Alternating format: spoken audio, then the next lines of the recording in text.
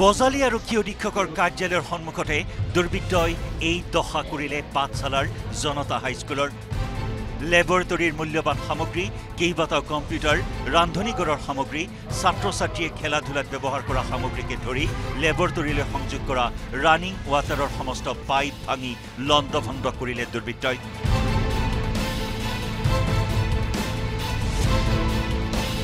আনকি স্কুলৰ কেইবাখনো দুৱাৰো ভাঙি থৈ গ'ল দুৰ্বৃত্তৰ দলে।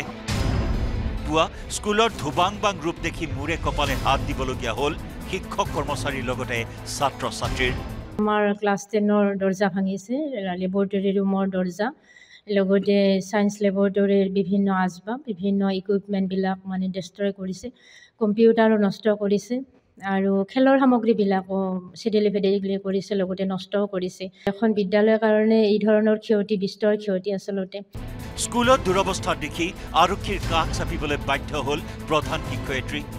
কেৱল পাঠশালাৰ জনতা হাইস্কুলেই নহয় শনিবাৰে নিশা দুৱাৰ খিৰিকী ভাঙি দুৰ্বৃত্তই লুটপাত চলালে কৃষ্ণাইৰ ডিৰমা জাকিলি হাইস্কুলত। পাঠশালাৰ জনতা হাইস্কুলৰ দৰেই কৃষ্ণাই স্কুলতো কম্পিউটাৰ কক্ষক টাৰ্গেট কৰিলে দুৰ্বৃত্তই। কম্পিউটাৰৰ ইউ পি এছ আৰু বেটাৰীৰ লগতে সৰকাই নিলে ছটাকৈ ছ'লাৰ লাইটৰ বেটাৰী। একে নিশাই ৰাজ্যৰ দুঠাইৰ দুখন স্কুলত দুৰ্বৃত্তই লুটপাত চলোৱা ঘটনাৰ আঁৰৰ চক্ৰটোক চিনাক্ত কৰি উচিত শাস্তি বিহাৰ দাবী স্কুল কৰ্তৃপক্ষৰ। অকল চ'লাৰ বেটাৰী ছটা আৰু চ'লাৰৰ ইউ পি এছ এটা।